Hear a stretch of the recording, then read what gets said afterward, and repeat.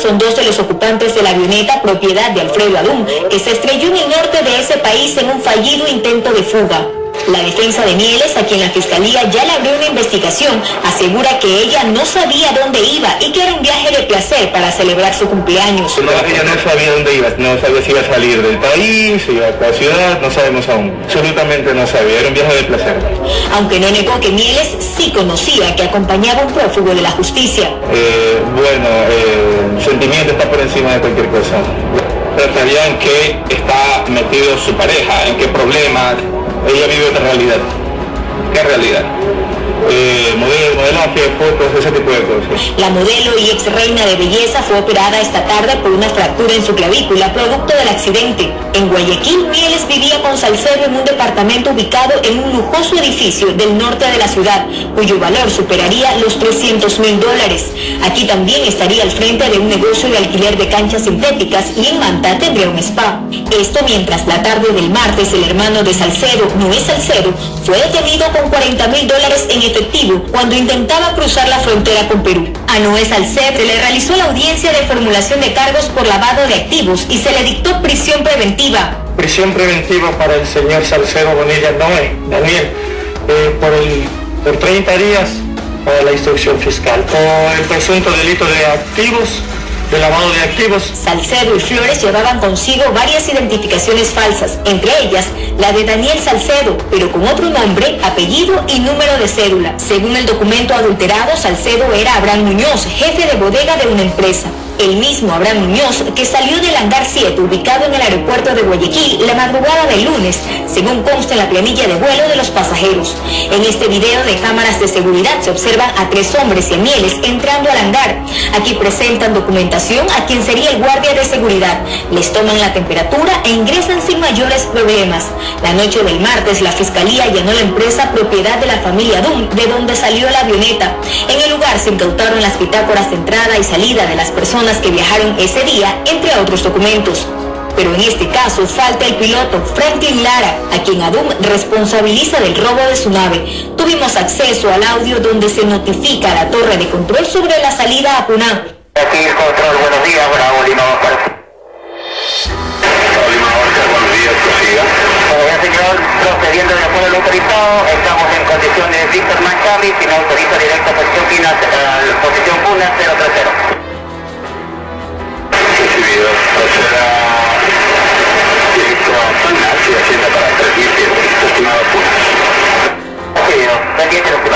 Rodríguez tampoco llegó a Ecuador, confirmó el comando de policía de El Oro, por lo que actualmente se desconoce su paradero.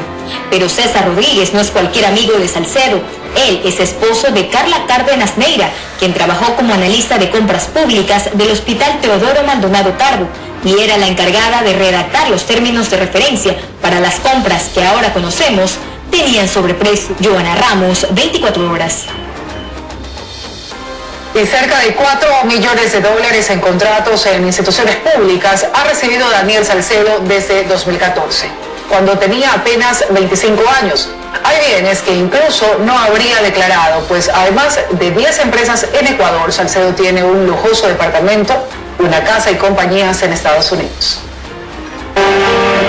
El piano de Raúl Di Blasio trajo por primera vez a escena a Daniel Salcedo Bonilla, aunque no lo sabíamos del todo. En el 2014, cuando apenas tenía 24 años, Salcedo tuvo más que su primer millón de dólares. La gobernación de Rolando Panchana le otorgó un contrato por 1.792.000 dólares a la empresa HDC Producciones, la que Salcedo creó cuando apenas tenía 19 años de edad, según los registros de la Superintendencia de Compañías. Este contrato, que también se hizo bajo régimen especial, llamó la atención de la Contraloría, pero fue archivado en la Fiscalía del Guayas.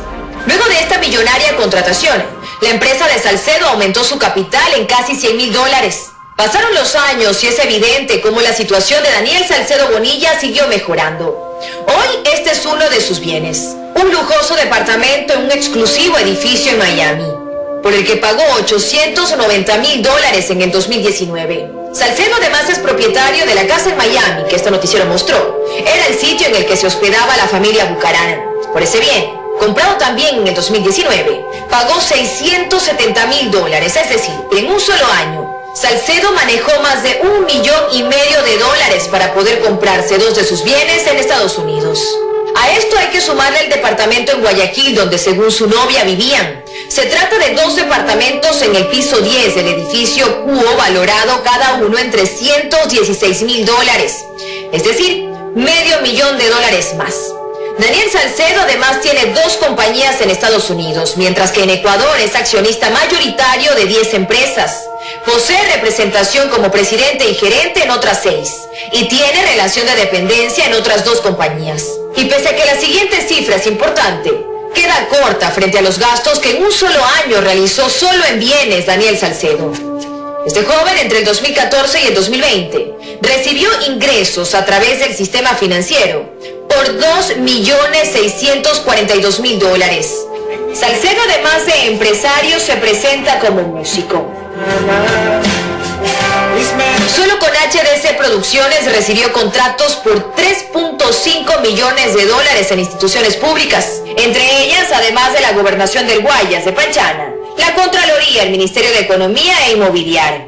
Y si bien manejó contratos con el Estado desde el 2014, es en el 2018 cuando sus ingresos crecen significativamente, al menos lo declarado en el Servicio de Rentas Internas. En el 2017 pagó 774 dólares de impuesto a la renta. En el 2018 pagó 25 mil dólares y 34 mil dólares en el 2019. Salcero declaró 1.411.000 dólares en activos y 471 mil dólares en pasivos y un patrimonio de 993 mil dólares, casi un millón de dólares. Una vez más, pese a que muy pocas personas en nuestro país tienen este patrimonio, esta cifra se queda corta frente a los bienes que tiene Salcedo dentro y fuera de Ecuador. Por su parte, su hermano Noé Salcedo Bonilla, detenido con 40 mil dólares en efectivo en la frontera, quien también consta como su socio, nunca ha pagado impuestos. Salcedo, según la información del Servicio de Rentas Internas, en cuatro años, entre el 2016 y el 2020, sacó del país 807 mil dólares. El 85% de este monto se fue a Estados Unidos. Y hoy, este hombre de 31 años que comenzó con su primera empresa a los 19, ya está frente a la justicia y tiene cosas que explicar, pues las cuentas entre sus ingresos y sus gastos no cuadran de dónde venía y hacia dónde iba el dinero que pasaba a través de él será parte importante de su testimonio. Dayana Monroy, 24 horas.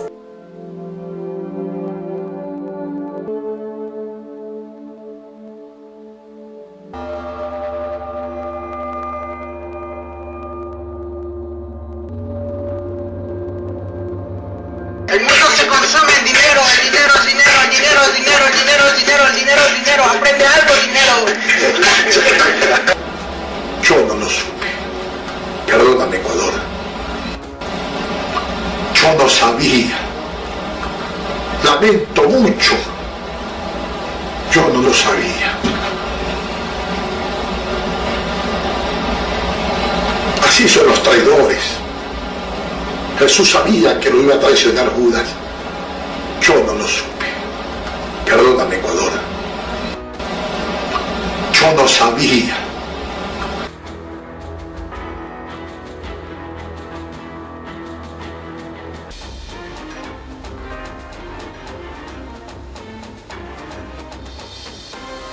que sacó del Ecuador alrededor de 360 mil dólares solo en el 2019, aunque debió ser mucho más, si solo se toma en cuenta que tiene una propiedad en Miami que cuesta más de medio millón de dólares, una casa donde hasta esta semana había estado viviendo el ex asambleísta Dalo Bucaram. Efectivamente estuve alrededor de 10 días en la casa del señor Salcedo porque me era más cómoda para mis hijos. Y ante toda esta persecución eh, decidí salir de ahí y estoy, actualmente yo no vivo en la casa del señor Salcedo, sino que estoy en la casa de otro amigo. La relación con la familia Bucaram también es por negocios. En el 2018, Michelle Bucaram Puley constituyó una empresa con Salcedo, Sabupi S.A., con 800 dólares para la venta de insumos de cocina. A los campamentos de la iglesia también iba Noé Salcedo, hermano de Daniel. Entre los dos combinan el cargo de sus empresas. En algunos, Noé es el administrador, en otras es el presidente. En casi todas, los dos son los dueños de las empresas.